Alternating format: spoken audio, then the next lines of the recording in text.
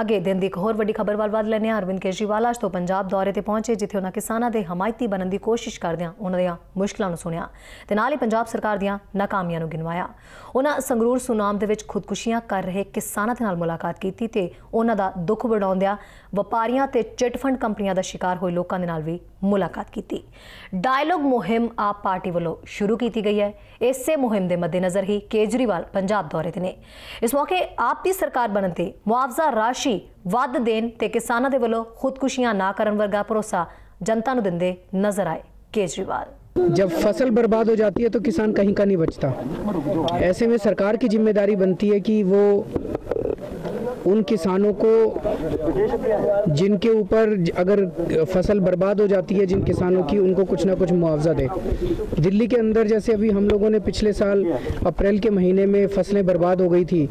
कई किसान आए, मैं खुद कई गाँव में गया और उसका हमने मुआयना कराया तो हमने पचास हज़ार रुपये पर हेक्टेयर के हिसाब से हमने मुआवजा दिया था। हमने एक भी किसान को आत्महत्या करने नहीं दी दिल्ली के अंदर।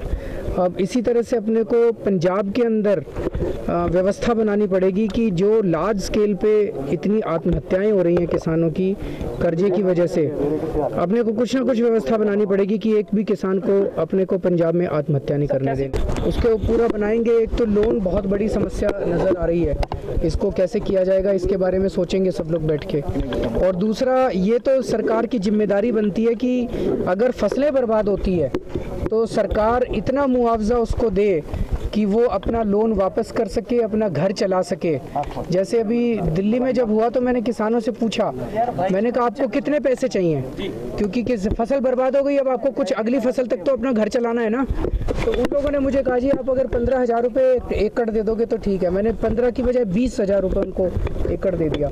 तो ये दोनों चीज़ों के ऊपर ध्यान करना पड़ेगा। एक तो जो लोन इतने ज़्यादा हैं, इसका क्या किया जाना चाहिए?